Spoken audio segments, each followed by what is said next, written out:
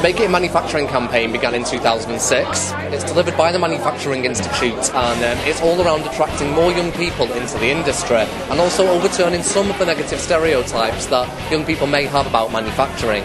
Today's actually our regional final, so we're really excited to be here. We've got representatives from all of the manufacturing partners that have sponsored our regional heats, as well as people from Robert Wiseman Dairies who are associated with the grand final.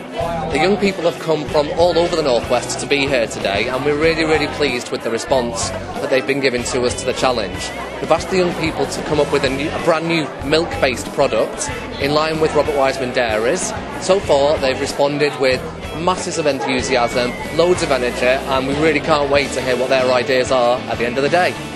Our team name's called Milkit, which uh, we think that's a good team name because it's short, it's snappy, it's quick, and it's to the point.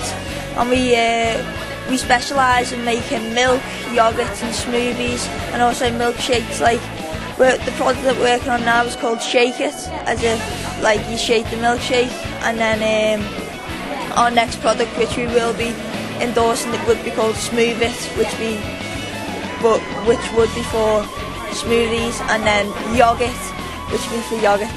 Robert Wiseman's have been involved in the Make It campaign since 2008.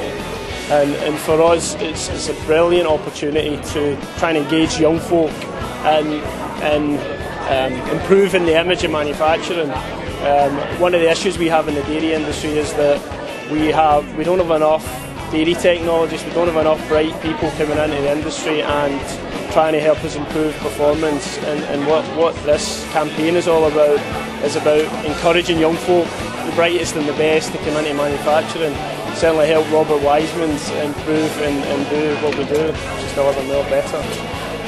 Um, what I've learned about manufacturing is um, it's good hands-on work. You really get involved in it. Um, it's not it's not what uh, all the other people say outside of the the industry. Like it's dirty, it's uh, not good money.